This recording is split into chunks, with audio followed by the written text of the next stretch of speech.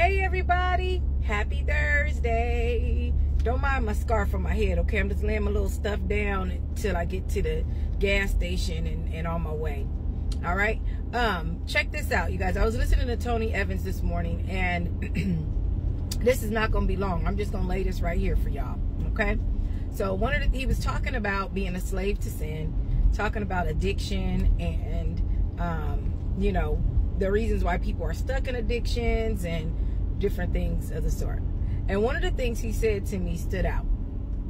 And he said, it doesn't matter how much somebody prays for someone, it doesn't matter how much, you know, someone acts acts like they want to um, be free from the sin or from the addiction if they really don't want to, nothing's going to help.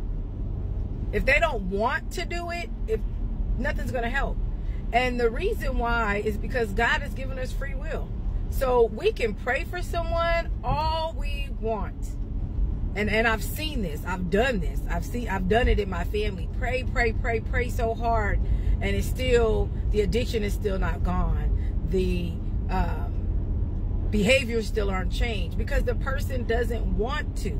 So it doesn't matter how much we pray, how much we ask God to do something for someone, if they are not in line or they are not wanting to do it, if their will is not lined up with the prayer, or if their will is not lined up with the will of God for their lives, then it's not going to change. And that's only that's from experience, personal experience.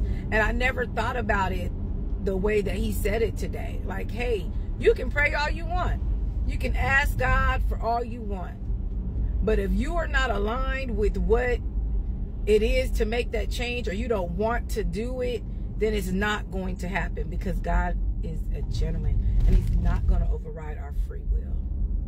So, with that, you guys, what is it that you're asking God for that you are not aligned with? And what prayers are you praying over people and they just don't want to be set free? One of the things that I've started to do, and I, have done this even before this, because I knew I'm like, okay, I'm praying for them to not be addicted to this. I'm praying for them to come out of this, but it's not happening, God.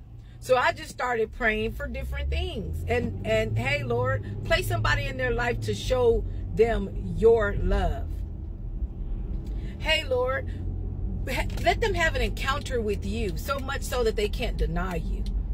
I changed my prayers for these people because I do know what I do know is that once they have an encounter with God, once they are truly impacted by the Holy Spirit, then the change comes naturally.